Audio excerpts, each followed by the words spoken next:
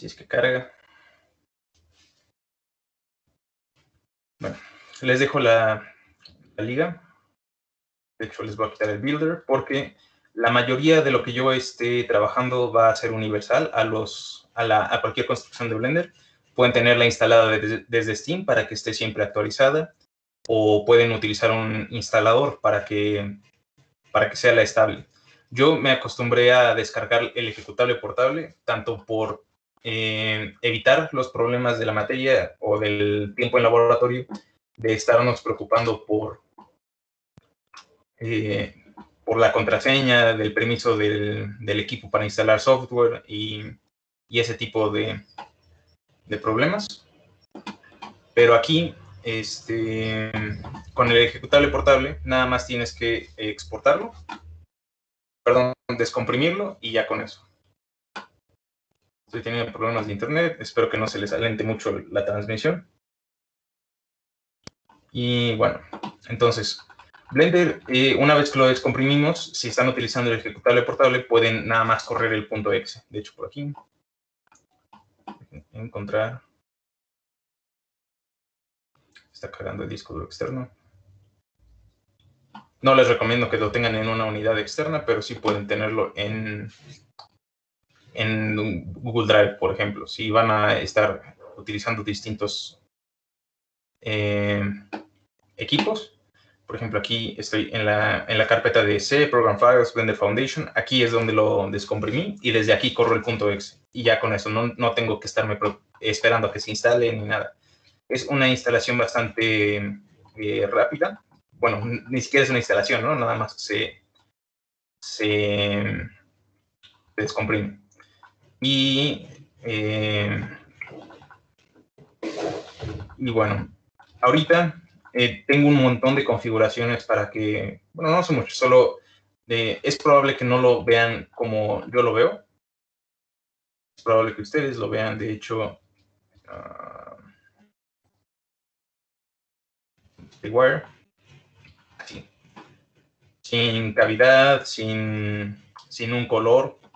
Entonces, ustedes empiezan su escena con un cubo nada más. Eh, los atajos que siempre vamos a estar utilizando, voy a habilitar Screencast Keys para que se quede grabado aquí qué es lo que estoy utilizando con, o qué herramienta estoy utilizando cada que, qué atajo estoy utilizando para cada herramienta. Eh, los atajos que vamos a estar eh, empleando son Shift A para agregar,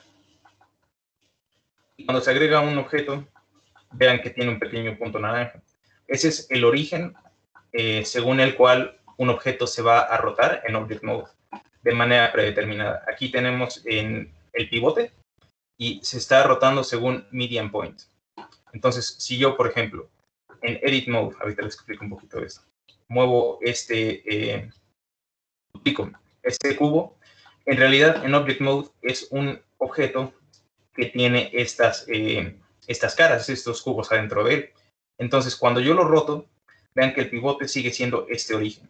Si yo, en cambio, cambio el, en cambio, cambio el pivote al cursor 3D, ya no va a rotar según el origen del objeto, va a rotar según el cursor 3D. Y median point funciona cuando, por ejemplo, quiero rotar estos dos objetos, los dupliqué con Shift D. Ahí, vean que hay una línea entre mi cursor y el elemento de el pivote de rotación que implica un punto medio entre este punto de origen y este punto de origen. Entonces, cuando roto, veo que está aquí. Si selecciono estos dos, ese es el, el punto medio entre los dos objetos. Y esto es según los orígenes de los objetos que tenga seleccionados. Por ejemplo, si este objeto entro a Edit Mode y muevo las mallas poligonales, sigue rotando según este punto medio entre esos dos orígenes. No entre dónde están las caras, sino entre dónde están los, los orígenes de cada objeto.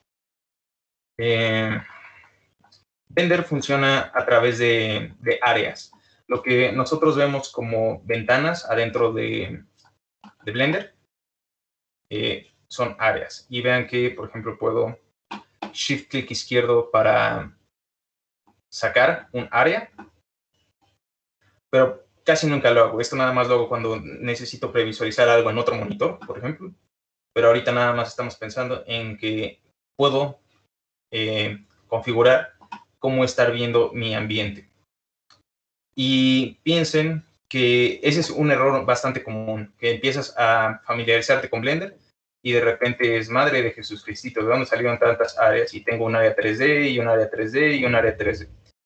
En las esquinas superiores derecha y, e inferior izquierda tenemos este, estas esquinas biseladas que me permiten o replicar o colapsar un área eh, dentro de Blender. Entonces vean que desde que empiezo a querer sobreescribir un área con esa esquina biselada, me aparece una flecha que me está indicando cuál es la que se va a sobreescribir. En este caso puedo dejarla hacia este lado para eliminar esta. Y lo mismo acá. De hecho, también esa operación la puedo hacer con clic derecho sobre la línea que está dividiendo estas áreas. Entonces aquí tengo, por ejemplo, Join Areas, Swap Areas. Esto no es eh, obvio, a menos que aquí, por ejemplo, cambie el tipo de dibujado aquí a malla poligonal. Puedo clic derecho, Swap Areas, y esta se va a transformar en esta. Y eso también es posible, por ejemplo, si tengo otro tipo de editor.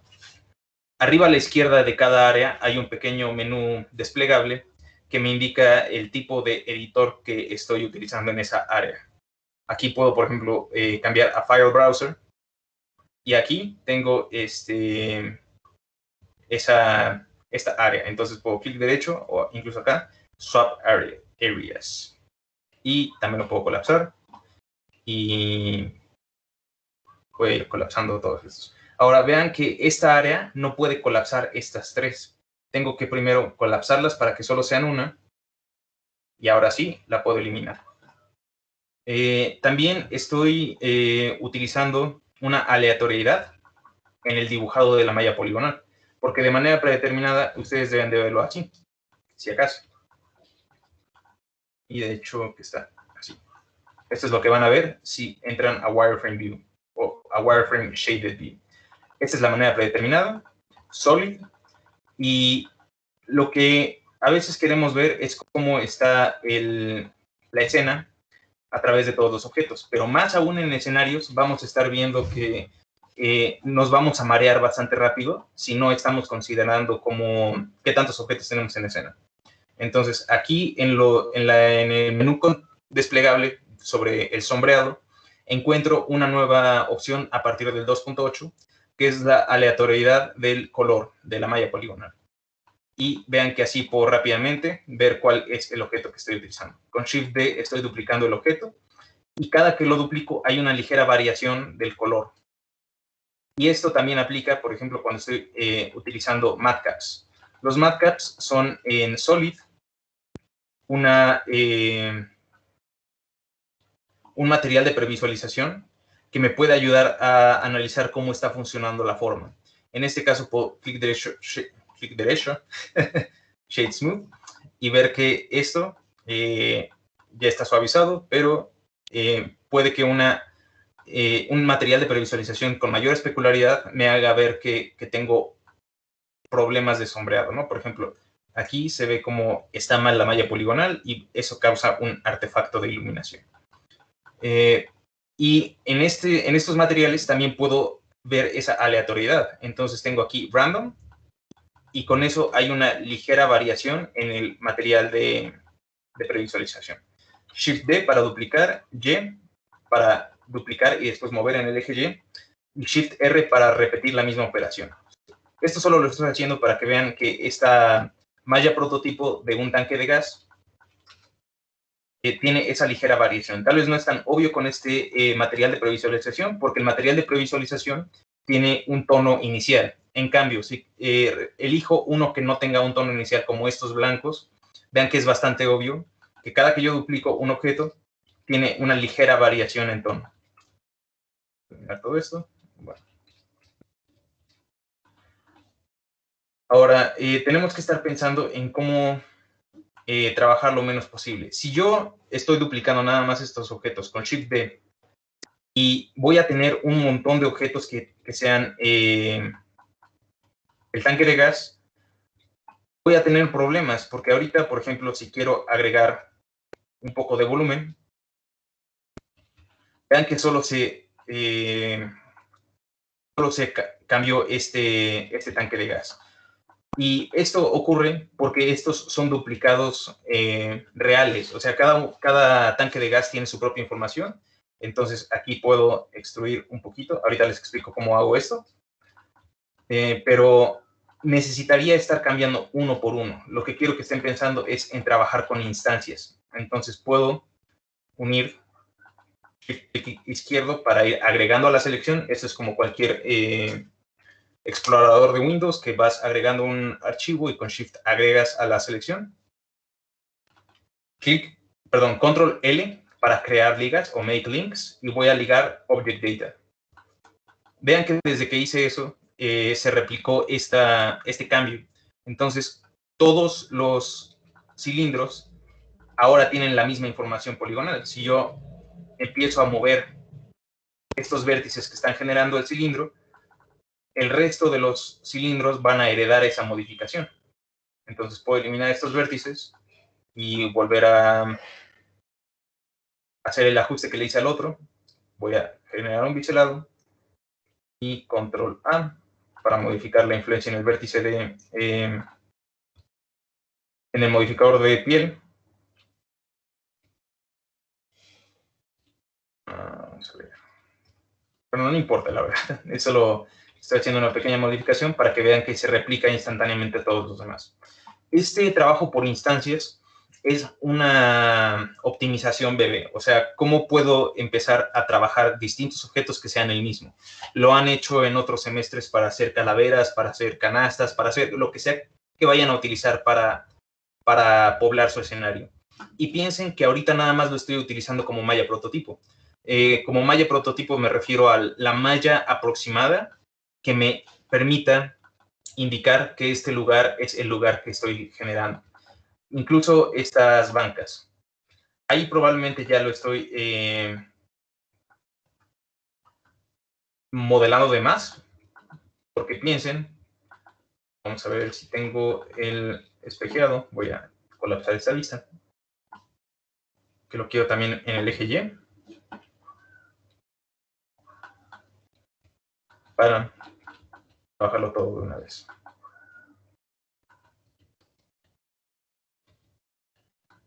Yes,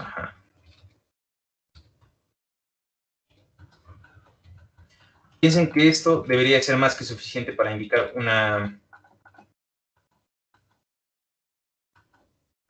una banca. Podrías eliminar esto.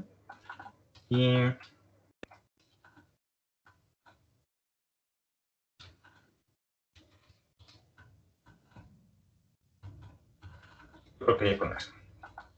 lo que voy es que no necesitan, eh, para empezar a generar su escenario, eh, preocuparse por el detalle. Esto no va a tener texturas ahorita, no va a tener eh, un desdoble de coordenadas, solo si acaso un ligero material. Va a crear un plano como suelo, Shift A para agregar, Add, Plane, y se va a agregar este plano donde sea que tenga mi cursor 3D. Como mi cursor 3D estaba al origen de la escena, rápidamente se puso ahí, ¿no? si yo tengo el cursor 3D por acá, que el atajo para mover el cursor 3D es Shift clic derecho, eh, se va a crear ahí el nuevo plano. Entonces Shift A para agregar, plane, y vean que ahí se agregó. Si quiero reiniciarlo al origen de la escena, Shift C para resetear el cursor 3D, Shift A, Mesh Plane, y ahora sí lo puedo eh, escalar. Ahora, el, la manera en la que estoy trabajando los espacios, los objetos, perdón, es casi siempre en Object Mode, en Edit Mode, perdón. Y el atajo para cambiar entre estos métodos de trabajo, vean que aquí arriba a la izquierda tengo un menú desplegable que implica Object o Edit Mode, eh, es tabulador. Este mismo eh, menú desplegable lo pueden utilizar con control tabulador. Entonces, eh, estos Py menus, estos menús de Py, lo que me permiten es rápidamente llegar a esas opciones. Por ejemplo, teníamos este, esta vista de sólidos o esta de Material Preview, que ya me permite ver cómo estoy trabajando los eh, materiales. De hecho, ahorita que recuerdo, este lo utilicé para un cristal, entonces lo voy a cambiar. no quiero rojo pertenencia, quiero rojo diffuse. Ahí está. Así como hace rato ligué la información de los objetos para que fueran instancias, puedo también ligar el, el material. Entonces, Shift, selecciono el tanque al final, Control L para crear ligas, Materials, y vean que se replicó el material utilizado. Si yo estuviera en Solid, eh, como tengo la aleatoriedad activada, no voy a estar viendo el, color de la malla prototipo. Y eso es algo importante cuando em, empecemos a, planear nuestro escenario. Por ejemplo, eh, el, uso de materiales es uno que me puede ayudar a, a contextualizar el espacio. Piensen en que voy a estar, por ejemplo, extruyendo el, el plano. Eh, para los que nunca han eh, utilizado una paquetería 3D, tengo una selección, ya sea de vértices, aristas o caras, y esta es la que pueden encontrar aquí arriba. Voy a cambiar el color de la anotación para que sea más obvio. Ahí. Y voy a subir un poquito el grosor. Entonces, aquí arriba tengo los elementos de selección. Estos los pueden ver en Edit Mode porque ya van a, a modificar estos vértices que, que, forman nuestro objeto tridimensional. El primer elemento es un eh, vértice, después una arista y después una cara. Dos vértices forman una, una arista y a partir de tres aristas podemos tener una, una cara. Entonces, el atajo para cambiar estos iconos, vean que aquí arriba puedo darle clic a cada uno y va a cambiar qué es lo que puedo elegir del objeto. Por ejemplo, aquí tengo un vértice o cambio a aristas y puedo elegir aristas o cambio a caras y puedo elegir caras. Lo mismo puedo hacer con 1, 2, 3 en el teclado y también puedo tener 1 para tener las, eh, los vértices seleccionados, pero si presiono control 2 va a elegir, va a seleccionar las aristas que involucren la selección original. Entonces, si tengo déjenme hacerlo en un objeto tal vez un poco más, más pequeño para que lo, les quede claro. Voy a subdividir. Tengo este vértice inicial, solo estoy manipulando este vértice. Pero si presiono control 2, ya estoy eh, seleccionando las aristas que involucran ese vértice inicial. Si yo presiono 3, no voy a tener ninguna selección de caras, pero si presiono control 3, voy a seleccionar todas las caras que involucren esa selección. Eh, esto no es algo que, que, que, cambie mucho cómo funcionan las herramientas, solo es algo que puede ir optimizando sus tiempos. Y bueno, entonces aquí lo que hice fue seleccionar control R para insertar cortes. Eh, puedo, por ejemplo, control R y aparece una previsualización de dónde quiero insertar ese corte. Es una, un corte transversal y puedo subir con la rueda del mouse el número de segmentos. Entonces puede haber seleccionado dos segmentos y ya, si quisiera que estos eh, dos caras estuvieran así por alguna extraña razón. Entonces, para contextualizar, puedo eh, seleccionar estas caras y agregar un nuevo material. Por ejemplo, aquí azul. Y control I para invertir la selección, voy a agregar otro, amarillo punto concreto, y lo voy a asignar. Creo que está muy chillante. Y vean que puedo cambiar el, el material incluso ya asignado. Porque lo que está pasando es que este objeto, con sus 18 caras, 18 triángulos, ya tiene materiales asignados. En donde tengo lo que va a terminar siendo el agua, tengo el slot 1, aquí en mi área de propiedades, en la pestaña de materiales del objeto. Eh, ahí ya tengo en, el primer, en la primera entrada de material, eh, el material que se llama azul, que es este que puedo encontrar aquí, o, pueden irlo creando, ¿no? Y en el material 2, tengo este que, que puse como café.tienda. Si cambio a otro, tipo de, de Ya me preocupé porque ya había trabajado un buen el, la vinatería y no apareció ahorita que, que esa escena, pero bueno, que Luis del futuro se preocupe. Este, entonces, puedo ver que que ya está esa asignación de material habilitada. Ya nada más tengo que empezar a, cambiar el material a uno que me, que me agrada. Y esto es algo muy importante del,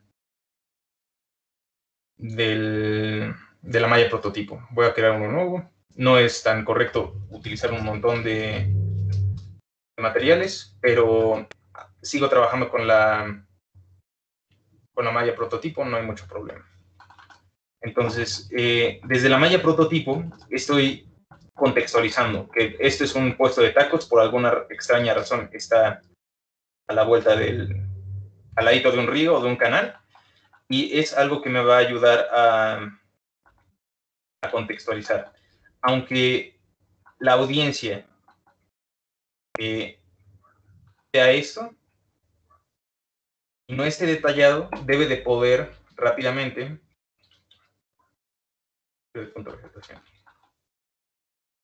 saber que esta es una cuál es la contextualización de este, de este escenario. Eh, la manera en la que estoy agregando estas eh, esferitas es con el modificador de piel, ya se los estaré eh, ejemplificando un poco más adelante, pero quiero que piensen en eso, en que no es nada más esto, porque no quiero que nada más piensen en que un en que ir generando estos modelos austeros es eh, suficiente, sino que deben de poder contextualizarlo. Voy a, de hecho tengo otro árbol por ahí, pero me voy a concentrar ahorita, o por lo menos tal vez este semestre, en, en, solo esto, en que un área pequeña esté eh, lo suficientemente comunicada o diseñada para que, para que funcione. Y esto va un poquito ligado a lo que muchos me preguntan, de, ¿es necesario eh, que el escenario sea gigante? No, no es que sea gigante, es que esté bien planeado, ¿no? Ahorita lo estoy haciendo medio... Ahí se va. pero quiero que vean a lo que me refiero.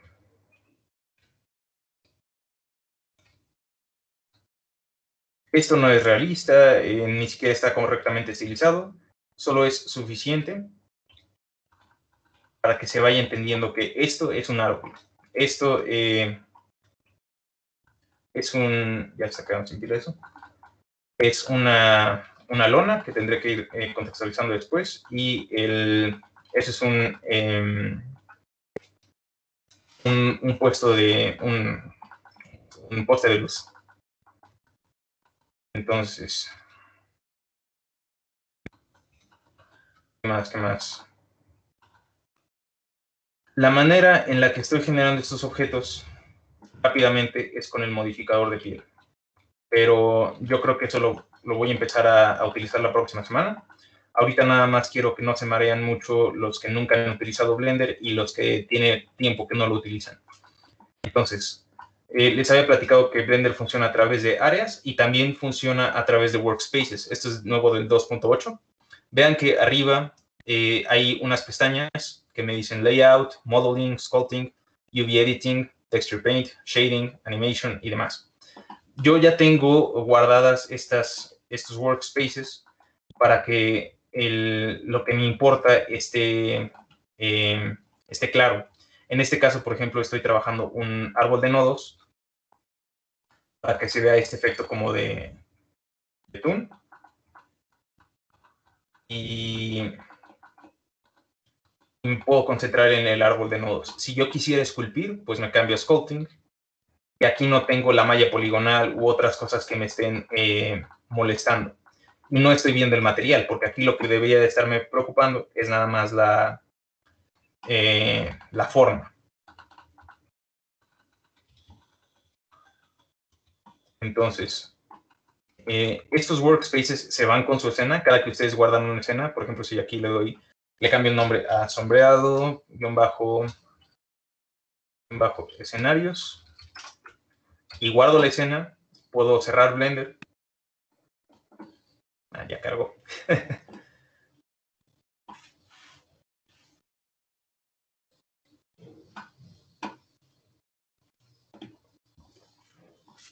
y esa pestaña se va a actualizar.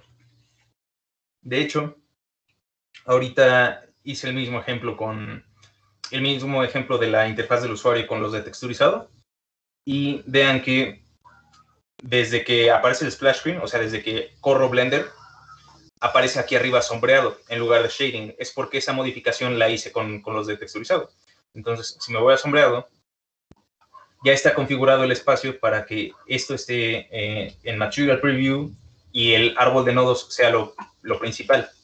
Si me voy a Open Recent Modularidad, que es la escena en la que estoy trabajando el puesto de tacos, tengo sombreado guion bajo escenarios, porque cambié el nombre y se lo llevó la escena cuando lo guardé.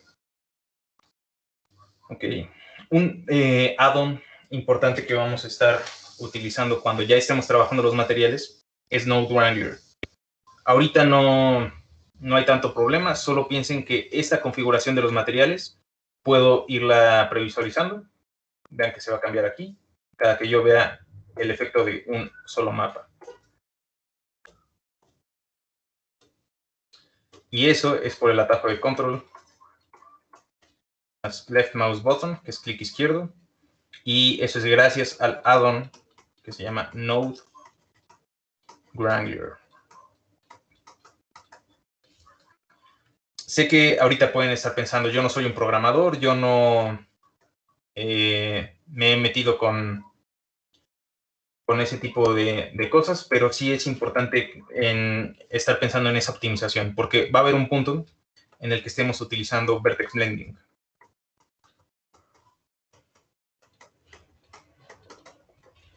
Y esa es una de las tres eh, grandes herramientas de optimización de tiempos y escena que me interesa que se lleven. Eh, en modelado de escenarios hay eh, tres, tres, temas que son importantísimos que se lleven y que son eh, independientes a la plataforma objetivo. Y estas ya son del poblado de escenarios. O sea, esto es hasta el final. O bueno, la última mitad del semestre. Poblado de escenarios. Ahí, ya lo creé. Acuérdense que estoy utilizando la experimental. No le hace. Algo hice mal. Entonces, View Annotations, New, blanco, con una, un grosor de 4 píxeles. Tengo escenarios. Y la primera mitad del semestre probablemente nos la pasemos entre primera mitad o los primeros dos tercios, entre Maya prototipo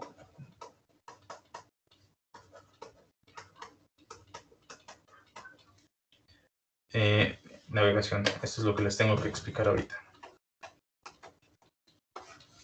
Maya prototipo, tenemos el ejercicio de fundamentos. Ah, me faltó primero, la, el formato de lluvia de ideas.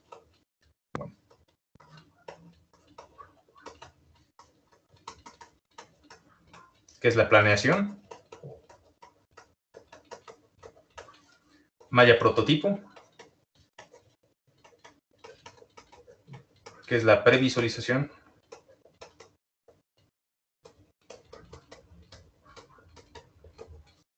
Y el ejercicio de fundamentos de interiores. De fundamentos de diseño de interiores.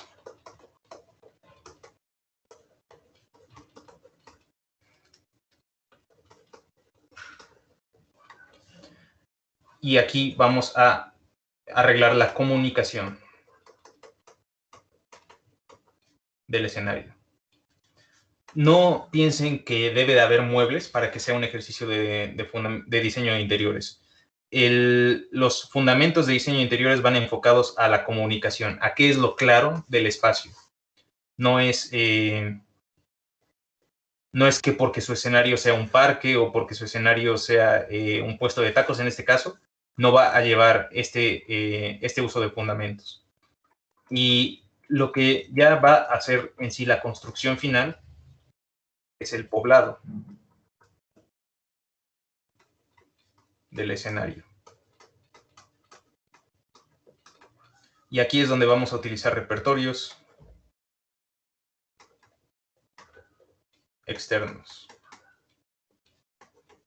Entonces, si necesito un coche y ya está modelado, no tiene caso que, que lo modele desde cero.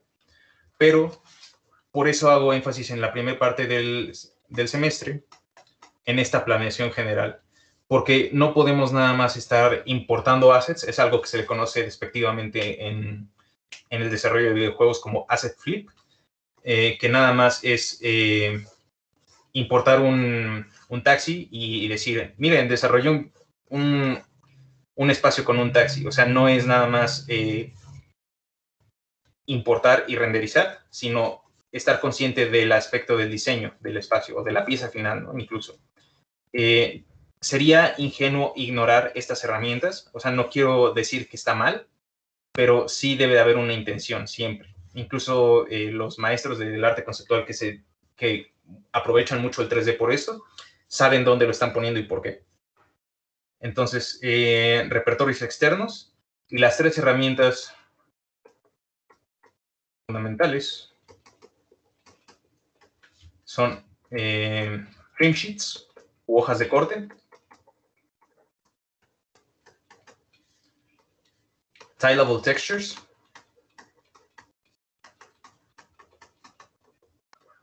Y vertex blending.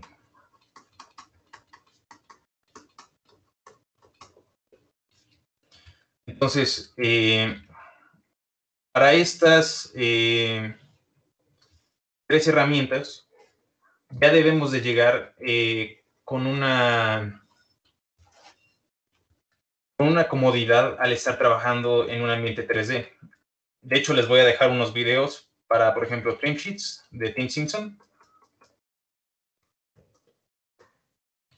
Es el que tiene su canal conocido como Polygon Academy. Y él platica de, este, eh, de estos procesos agnósticos al software. Él lo hace en 3ds Max, pero menciona que precisamente es una, una técnica de desdoble de coordenadas. Entonces, eh, esto lo puedes utilizar en Modo, en Maya, en Softimage, en, en 3ds Max, en Blender, donde sea. Y esto también lo puedes preparar desde el desdoble de coordenadas. Pero Vertex Blending es lo que nos va a llevar un poquito a, esta duda de cómo estoy trabajando mi escenario y para qué. No es tanto si es para videojuegos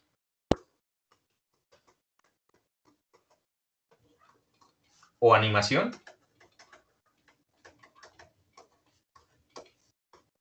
Y esto no implica si se vaya a, a renderear o si vaya a ser en tiempo real, porque piensen en no me acuerdo cuál fue el ejemplo, pero, pero ya se están haciendo cada vez más eh, cortometrajes para animación en motores de tiempo real. Lo pueden hacer en Unreal, en, Unity, incluso dentro de Blender. Lo que importa es dónde va a ser el armado de la escena final. Entonces, este no, como diría la pequeña bestia, este no. Lo que nos importa es eh, la plataforma objetivo. O bueno, más bien el motor objetivo.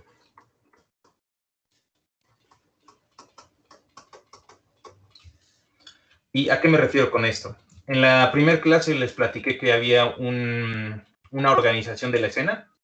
Eh, Daniel Beisted habla de ella.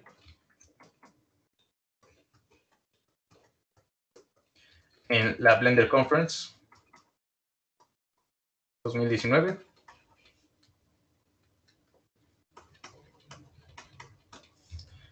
Y implica una escena eh, padre.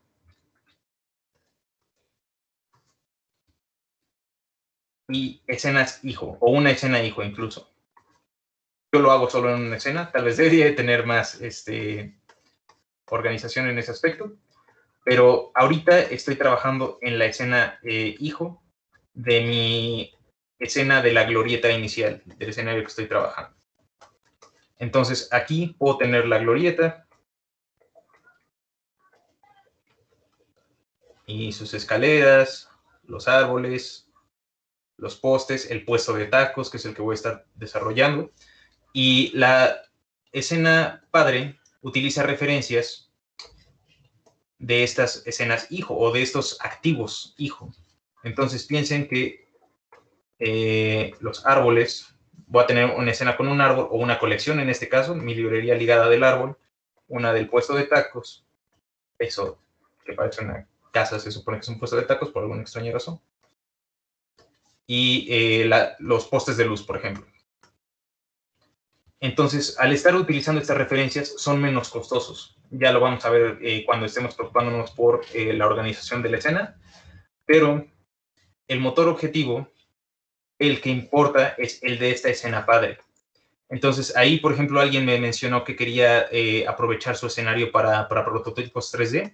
Yo no tengo problema, de hecho, es, el, es bastante bueno que se estén preocupando con este tipo de problemas de la vida real, ¿no? De, implementación.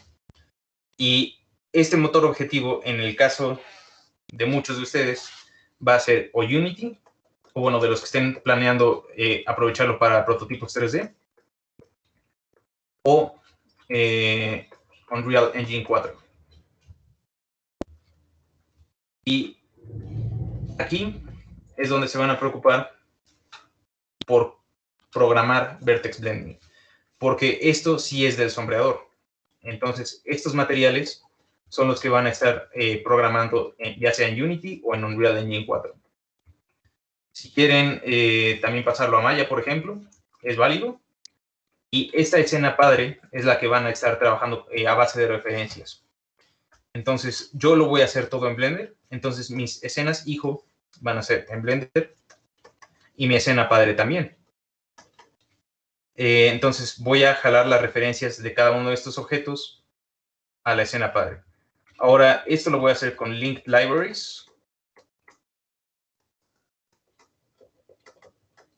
Y les mostré el ejemplo en la semana pasada de cómo un árbol símbolo o esta eh, malla prototipo la puedo sustituir, algo dicen, por un árbol un poco, vamos a pensar que este garabato es un árbol un poco más realista. Pero el chiste es que uno va a estar detallado y optimizado y el otro nada más es esta aproximación del objeto. Como eh, desde la malla prototipo es obvio que es un objeto y no otro.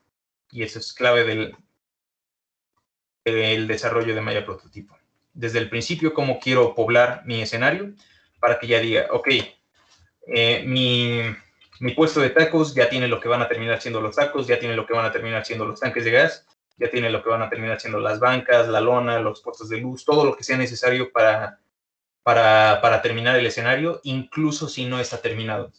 Y es algo que, que viene desde el desarrollo visual, ¿no? De lo general a lo específico. una vez que ya esté eh, trabajando la escena en, general, que ya tenga los árboles ubicados donde deben de ir, puedo nada más cambiar en la escena hijo esa referencia y le haré como en esta, como en la clase pasada, que nada más cambie el árbol de mi malla prototipo. Pensamos que es árbol punto malla prototipo, la colección, y la cambio árbol.maya final. Entonces, todos los árboles de mi escena padre se van a, se van a actualizar. Y, no voy a tener que estar trabajando árbol por árbol. Por árbol. ¿Qué más? ¿Qué más? Entonces, eh, tampoco me tampoco crean que los voy a dejar solos en ese aspecto de la programación específica al motor objetivo, pero sí es algo que, van a tener que estar revisando. Yo les puedo compartir cómo eh, genero el material con Vertex Blending en, dentro de Blender y les puedo dejar los tutoriales para Unreal, para Unity, lo que encontremos, ¿no? Pero el, principio es eh, el, el mismo. ¿Por qué esto tiene que ser según el motor objetivo? Porque necesitamos estar pensando que muchas veces podemos exportar animación, podemos exportar u hornear sistemas de partículas, texturas y demás, pero el sombreador como tal, hasta ahorita no hay una manera de, de moverlo entre motores. Ya hay un, eh, un add-on que se está desarrollando por parte de Epic Games para tener esta comunicación eh, un poco más simplificada entre Blender y Unreal Engine, pero según yo, hasta donde me quedé, estaba más enfocada a animación y a reutilización de, de maniquíes o de personajes y no de, de materiales, porque estos materiales eh, procedimentales es lo que empieza a, a, ser complicado o específico a, una, a un programa. Hasta ahorita, eh, ¿alguna duda? Me imagino que sí, pero es buen momento para, para preguntar. Más también me interesa los que ya han llevado la, materia, porque espero que esto les, les, vaya ayudando un poco a decir, ah, ok, porque, por eso hicimos esto, ¿no? O por eso la regué en esto. Y, y sus dudas o aclaraciones de estas dudas les sirven a los demás, a los que la están llevando por primera vez. Hablen ahora o callen para siempre.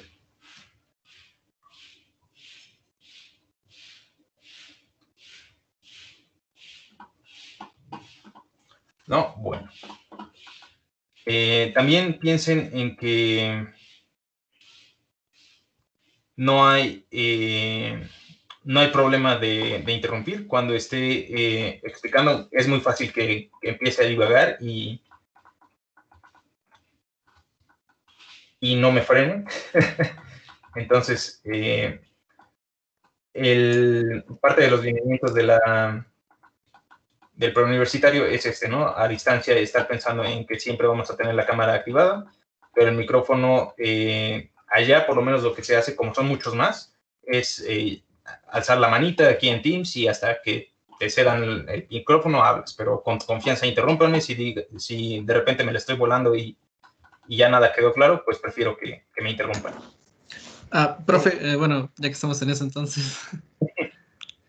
bueno, como aprovechando que pues dijo que nosotros los que ya habíamos tomado, pues hablemos. Este, bueno, yo tengo una, una pequeña dudita. Eh, ve que mi este, escenario anterior como que fue, bueno, al final siento que mi problema fue que lo quise hacer demasiado grande y le quise meter demasiadas cosas. Sí. Y, al, y al final pues creo que fue, o bueno, un revoltijo y sinceramente creo que eh, al final no tuvo tanto, tanta coherencia. Entonces, lo que le quería preguntar es, mm, en este caso me gustaría volver a intentar algo similar, pero no sé, ahora sí que, no sé cuál sea su recomendación. Eh, en cuestión de, más que nada, de si debería replantear de nuevo un escenario por completo o puedo usar de referencia al anterior puedes usar de referencia al anterior, yo no tengo problema con eso y, es lo mismo que les decía de la reutilización o, importar objetos de un repertorio, que eh, es mucho más útil estar trabajando inteligentemente en lugar de pensar, ah, todo lo tengo que modelar desde cero o todo lo tengo que programar desde cero. Y no, este, el chiste es que desde el principio se vaya aclarando el, el qué es lo que vas a tener que hacer porque el diseño del, espacio, o la planeación del espacio más bien, es una que por su iteratividad obligatoriamente va a ir cambiando. Eh, yo creo que al final del semestre pasado te diste cuenta de eso, ¿no? De, de qué pudo haber sido mejor eh, trabajar para que no tuvieras tantos problemas. Eh, entonces, piensa que si tú ahorita te pones a ver tu escenario, puedes ver en qué le dedicaste tiempo que no valió la pena. Por ejemplo, desde aquí, si yo veo este escenario, eh, un elemento principal es la lona, o que esté eh, rodeado de... Ay, ese origen está mal. eh, déjenme.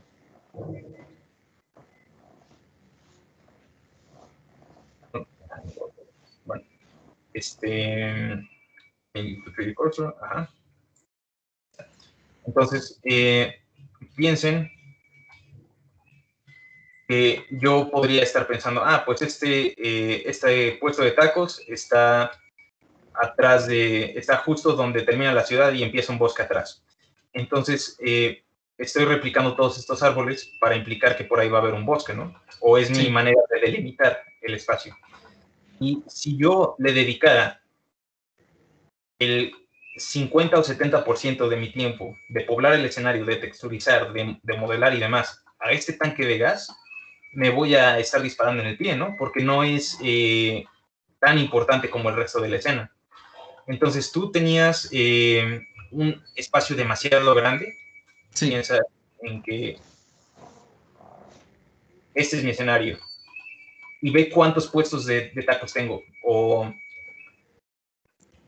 cuánto espacio eh, pelón hay ahí, ¿no? Cuánto debería de estar replicando para que me quede así. Si yo, por ejemplo, eh, utilizo este mismo activo o esta misma eh, agrupación para empezar a, a romper esa monotonía, puedo empezar a girarlos eh, tendría más sentido que le dedique a una lona, porque como estoy utilizando instancias, eh, se va a replicar ese, ese trabajo. Entonces, eh, piensa en cómo vas a estar utilizando tu tiempo. Y eso va para todos, ¿no? Porque muchas veces eso es lo que pasa, que se me... Se les va la planeación del tiempo y a la hora de la hora eh, terminan dedicándole muy poco al resto del, escenario. Entonces, eh, les va mal. Creo que es buen tiempo, eh, más ahorita con, con este aprovechamiento de, de, los recursos externos, de que les voy a estar diciendo, por ejemplo, ahorita para la próxima clase échense el video de, de Maya Prototipo, de de la Game Developers Conference y con eso ya deberíamos de empezar a por lo menos estar en la misma página. Aunque tengamos problemas de cómo generar los objetos o de cómo generar cables o cómo importar eh, árboles, por lo menos ya vamos a estar pensando en, ok, lo, importante de esta primera asignación es eh, el espacio o, la lluvia de ideas para generar el espacio. Y ya después nos vamos preocupando por, por esas especificaciones, ¿no? Va, va que va, profe. Y más que se quede con una duda, que esté preocupado por la vida.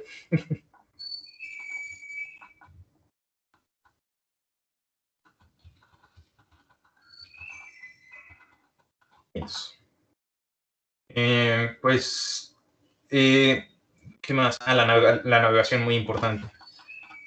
Yo, por lo general, estoy utilizando tableta cuando voy a esculpir o texturizar pero la mayoría del tiempo en escenarios, que es la, planeación y eh, la malla prototipo, la voy a hacer con mouse. O sea, no tengo que cambiar la configuración eh, de la tableta. Pero eh, esto ya se los ya se las saben lo que, los que han trabajado con, conmigo. Es que la tableta, la pluma de la tableta digitalizadora tiene, estoy exagerando, ¿no? Tiene dos botones aquí y la punta. Esta punta es left mouse button. Esta es la que vamos a cambiar. Y esta es right, eso no es una R, right mouse button. Si vemos el mouse, tenemos que, este es este. Esta, este botón implica esta función del mouse. Left mouse button es clic izquierdo y lo que les voy a pedir que cambien en Control Panel o donde sea que estén utilizando su tableta es eh, clic medio. Porque en Blender con este vamos a estar orbitando. Con clic medio podemos estar girando y siempre estoy preocupándome por cómo se ve la forma, ¿no? También aquí arriba tenemos eh, el gizmo que puedo dejar presionado para poder orbitar alrededor de un objeto. Con la mano hago paneo y con la lupa hago zoom o dolly. Y yo prefiero estar utilizando el, clic medio. No, no quiero que estén nada más pensando en vistas ortogonales o en estar calcando porque todo se termina viendo cajoso, sino que estamos preocupándonos por cómo generar este tipo de formas un poco más orgánicas, ¿no? E, eso es algo que a mí me reconectó con el 3D, estar pensando en cómo generar formas un poquito más divertidas, no nada más estar pensando en que todo se tiene que calcar o en que todo es bastante técnico. Eh, no me acuerdo si se los platiqué en la clase pasada, pero es eh, algo que les va a ir ayudando. Estar pensando en... hay un nuevo cielo, ya me acuerdo. En este... World. Ah, texture, sky texture.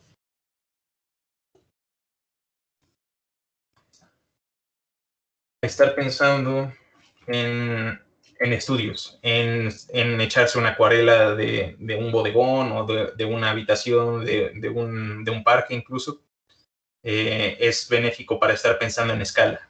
Esa es una de las broncas más grandes o más comunes de, escenarios. Que yo puedo estar trabajando, por ejemplo, esta, eh, esta banca, si no tuviera, magnetizar a otras caras,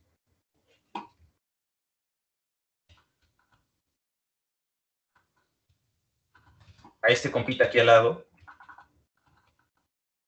no sabría si tiene ese sentido, este puesto, porque es un problema común. Estamos modelando, por ejemplo, una silla, me pasó apenas con, con, el escenario de la ciudad y las escaleras de, automáticas que van hacia el metro, que el descansabrazos medía lo que un humano. Entonces, ese es el tipo de, problemas que tenemos que estar cuidando y no necesitan tener un personaje finalizado para tener una indicación de escala. Si presiono N, tengo aquí en Item las dimensiones. Entonces veo que este humano, por ejemplo, mide 1,80 y eso me debe decir más o menos cuánto, eh, cuánto voy a estar eh, eh, necesitando escala para, para guiarme. Puedo aquí escalarlo con S R para rotate o G para grab. Y este ya vi que mide 1.30, voy a dejarlo en 1.20. Ahí tengo un, niñito. no es el niño que voy a estar terminando utilizando en la escena, pero por lo menos ahorita me sirve para una referencia de escala, ¿no? Pueden hasta tener un, un cubo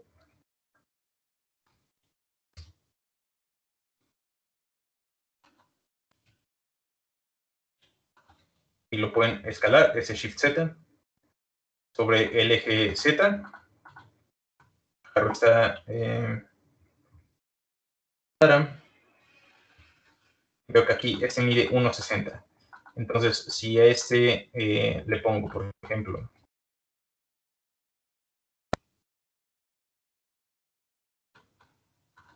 estas dos, eh, bueno, va a ser inset individual.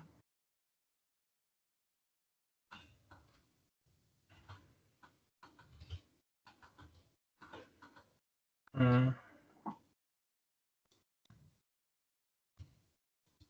Voy a quitar Proportional Editing y voy a mezclar sus orígenes individuales. Pues ya, si no me, si no soy tan, no estoy tan familiarizado con el 3D, puedo eh, decir, ah, pues, ¿saben qué? Esta es mi, señora, porque tiene trenzas, y ya es más que suficiente para decir que, esa es la escala que voy a estar utilizando, ¿no? No, no se preocupen si, si no están familiarizados con el 3D. 60, 40, 66.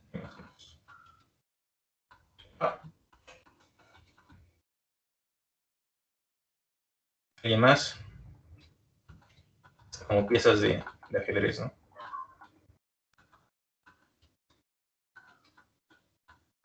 No quiero marearlos, sé que siempre es eh, un montón de información, por lo menos esta primera clase. Entonces, eh, yo creo que con eso les dejo la, la sesión grabada. Y quiero que empiecen a a preocuparse por qué van a hacer. Eh, ya hay quienes han hecho el mismo escenario de otros semestres, no hay problema, eh, lo pueden volver a hacer.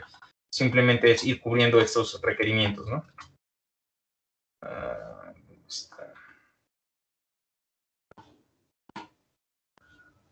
¿Dónde dejé mis anotaciones? ya no me acuerdo. Pero bueno. Sí, ni modo. Perdimos las anotaciones. Perdí las anotaciones. Bueno, las busco, se las comparto en, la, en el chat de Teams. Y les voy a dejar dos videos.